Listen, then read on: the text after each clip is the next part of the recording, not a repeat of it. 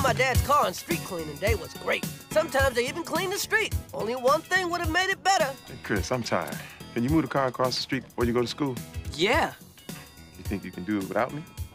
Really? I feel you ready. No, no, no, no, no. I got it. Good.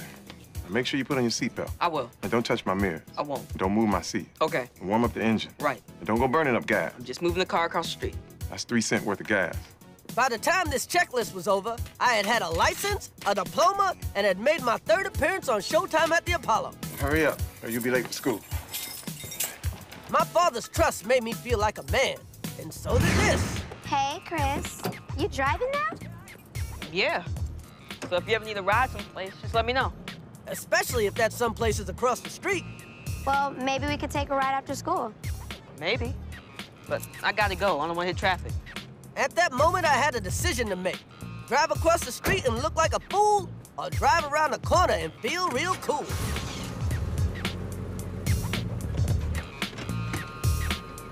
If Greg were here, he'd say I was in there. Hey, little dude from across the street. Check you out, man. I know you knew how to drive.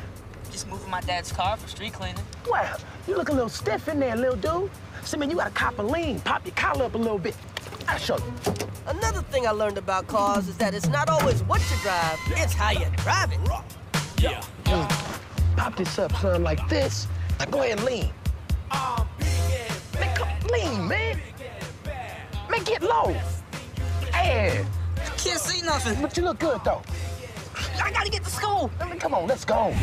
You can't see me, but take my word for it, I look cool. Jerome had me driving like he was Miss Daisy. Just a little bit further, man. I need to get the car parked so I can go to school. Where do you need to go? Right here, right here, little dude. This is my stop. Thanks, little dude. Aw, man. What's wrong with you? I'm gonna be late to school because I missed my bus. And I still haven't parked the car. Look, man, just relax, all right, little dude? It's a spot right over there.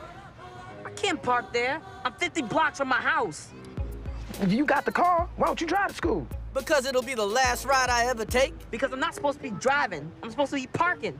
Plus, I don't even have my license. Well, I'm just saying, if you're doing something you ain't supposed to be doing, you might as well do something you're supposed to do.